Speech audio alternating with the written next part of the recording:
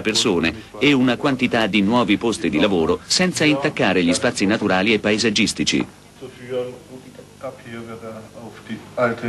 Nell'ufficio progettazione si accolgono per tempo i desideri e i suggerimenti dei futuri abitanti per poterli realizzare, nell'ambito del possibile, durante i lavori.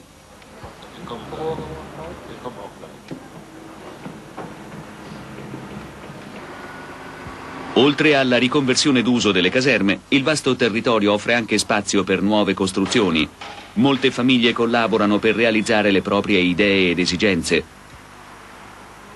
Troviamo molte soluzioni individuali, per esempio nell'aggiunta di logge o persino nella scelta dei colori delle porte d'ingresso che esprimono una nota personale. In un ex magazzino di carri armati, una falegnameria ha avviato il suo lavoro. La disponibilità di molto spazio vicino alla città ha favorito la decisione di stabilirsi qui. Subito accanto un fabbro. Troviamo atelier di artisti, tetto con pannelli solari, balconi rivestiti di verde.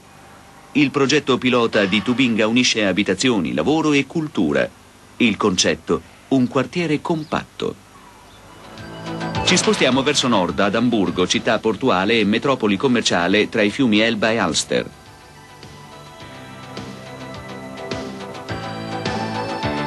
Qui si rispetta la tradizione. Le costruzioni del XIX secolo nel centro sono di classe. Incontriamo un timido stile moderno in molti nuovi passaggi. La Flee Tinsel, una volta terreno non coltivabile del dopoguerra, oggi è un gioiello della nuova architettura. Amburgo, centro economico, con le sue costruzioni di rappresentanza. Dietro le facciate in vetro e mattone si nascondono spesso le più svariate tecniche per contenere il consumo energetico. Un quartiere portuale con il suo nuovo aspetto, la costruzione a trampoli dell'editore Gruner e Jahr scioccava inizialmente col suo design d'avanguardia. Oggi è diventata un modello per la nuova edilizia. Anche qui si punta sull'ecologia, riutilizzando il calore di scarico e riducendo il consumo energetico in tutti i settori di lavoro. Il quartiere Hamburgo Farmsen, un ex ippodromo, è stato trasformato in quartiere residenziale. Situato in mezzo a zone di verde con parchi e laghetti, esso rappresenta un progetto urbanistico straordinario. Modello sono stati gli insediamenti olandesi con la loro molteplicità di forme. I diversi tipi di abitazione individuale sono progettati sia per le famiglie che per le persone anziane.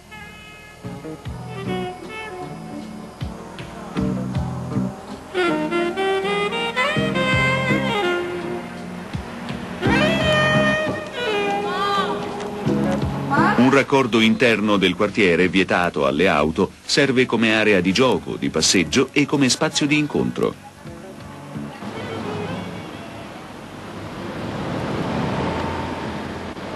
Adesso visitiamo una città più piccola. Bad Oeynhausen ci sorprende con un edificio futuristico dell'architetto Frank O'Ghiri, una casa multiuso, contemporaneamente centrale, elettrica e punto di incontro. Il tetto fotovoltaico sfrutta l'energia solare in modo ottimale. Al centro dell'edificio è situata la centrale di riscaldamento che abbina la produzione di corrente al principio ecologico dello sfruttamento del calore di scarico.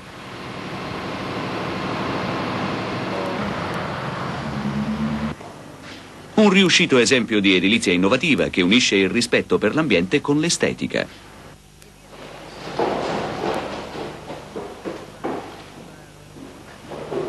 La nostra ricerca di nuovi progetti urbanistici viene premiata a Esslingen, sul Neckar. La cittadina nei pressi di Stoccarda è rimasta per secoli quasi immutata.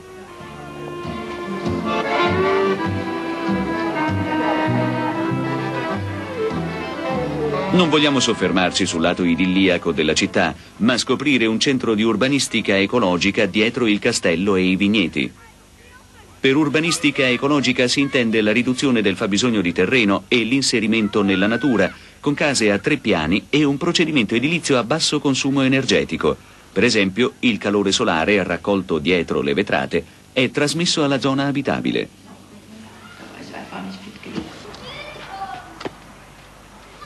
La mescolanza tra case a più piani, villini singoli e a schiera si è affermata. Il concetto edilizia individuale a favore delle famiglie.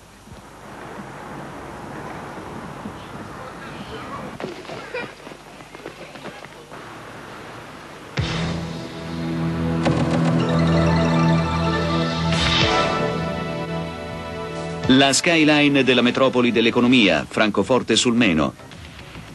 Nel più importante centro bancario d'Europa è sorto un nuovo grattacielo, la torre della Commerzbank, alta 300 metri. L'architetto è Norman Foster, dagli Stati Uniti. La torre, con un secondo rivestimento in vetro, è il primo eco grattacielo, dice Foster. La modernissima tecnologia riduce il consumo d'energia, sensori regolano la temperatura. In nove giardini a quattro piani il personale dei 62 piani dell'edificio si può rilassare e godersi nello stesso tempo il panorama della città.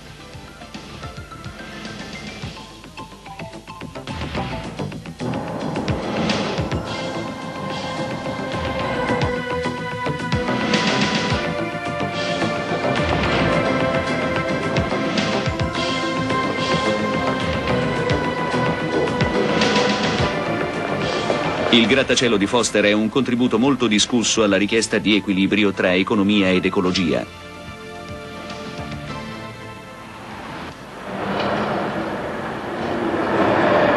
All'ombra del quartiere bancario, vivacità e tranquillità al Römerberg, il salotto buono di Francoforte. Un luogo di cultura e comunicazione cittadina vivace che invita a gironzolare e a fermarsi.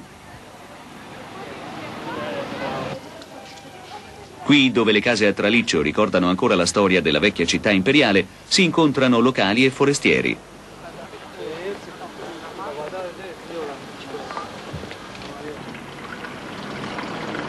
Un esempio per la varietà architettonica di Francoforte è la notevole ecocasa L'Arca, con uffici e negozi, ristrutturata dal proprietario, la tipografia Caro Druck, è rivestita di verde sia all'interno che all'esterno. Il calore perduto della tipografia e il calore passivo del sole, insieme alla continua circolazione di acqua, regolano la temperatura interna.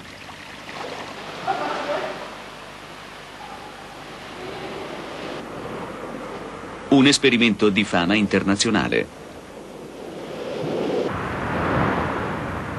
Lipsia, un monumento della metropoli tedesco-orientale è la stazione centrale più grande d'Europa, costruita dal 1902 al 15 e completamente rimodernata. Oltre a migliorare la tecnica, è stato costruito anche un moderno centro commerciale su tre piani. L'offerta di servizi trova un vasto gradimento. La modernizzazione è parte di un progetto urbanistico che auspica un aumento del numero di viaggiatori in stazioni attraenti, vivacizzando così anche i centri cittadini. Il risanamento di edifici storici ha trasformato in modo decisivo l'aspetto di Lipsia dopo l'unificazione della Germania. Non solo la taverna di Goethe e di Auerbach, ma anche il famoso passaggio Mödler hanno riacquistato di nuovo un aspetto splendido.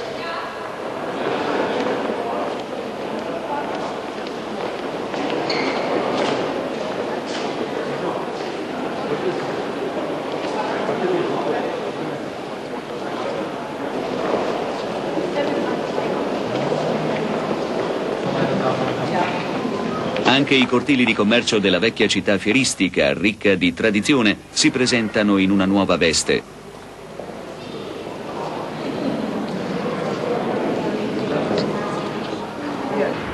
Nelle vicinanze i resti di un triste degrado, eredità dei tempi della Repubblica Democratica Tedesca. Uno dei compiti più complessi della promozione urbanistica nella Germania dell'Est non è ancora concluso. Escursione a Grünau, un sobborgo di Lipsia dove si trova il più grande complesso edilizio di prefabbricati della Sassonia, che è diventato un progetto pilota per un efficace risanamento urbanistico. La sfida? Trasformare questo monotono agglomerato edilizio nato vent'anni fa in un attraente quartiere della città.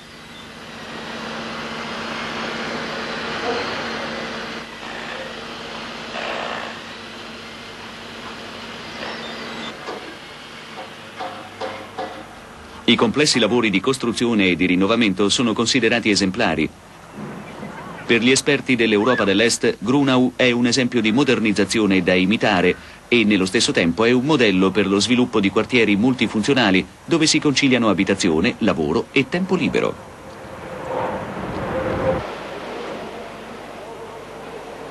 Grunau è il futuro.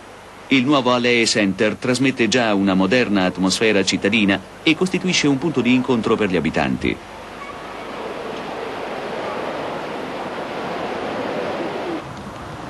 La nuova fiera di Lipsia, un progetto coraggioso. Il salone d'ingresso ideato dall'architetto Folkwin Marg ricorda i palazzi di vetro dell'esposizione mondiale del 1900.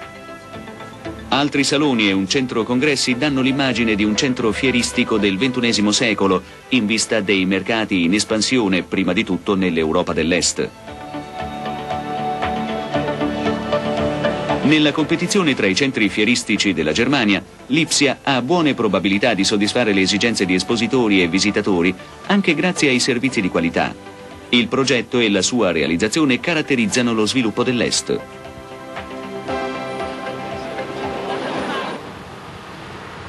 Anche Monaco, capitale della Baviera, tra moderno e tradizione imponente, concentra i conflitti e le chance dello sviluppo urbano.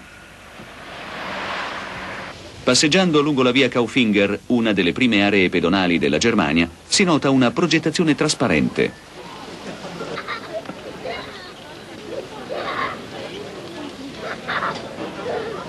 Visitare il mercato Victualienmarkt stuzzica la voglia di locali e forestieri a fare acquisti. Ma l'atmosfera tranquilla inganna. Monaco spesso tocca i propri limiti. Come ovunque nel mondo, anche in questa città il traffico cresce in modo inarrestabile. Per ridurre le emissioni di anidride carbonica è stata allargata la rete della metropolitana, ritenuta esemplare nel suo genere.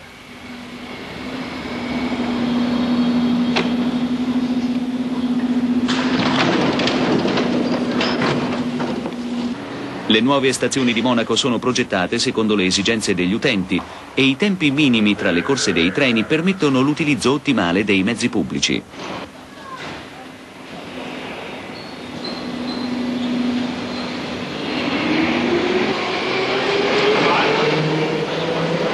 È previsto l'ulteriore ampliamento della rete.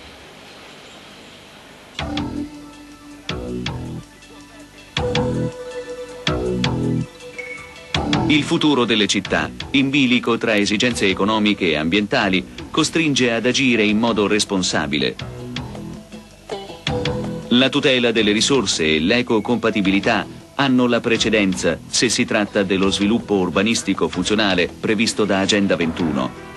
Economia, ecologia ed esigenze sociali devono essere integrati in questo concetto vitale. In Germania vi sono molti esempi per uno sviluppo urbanistico umano ed ecocompatibile. È già iniziata una svolta.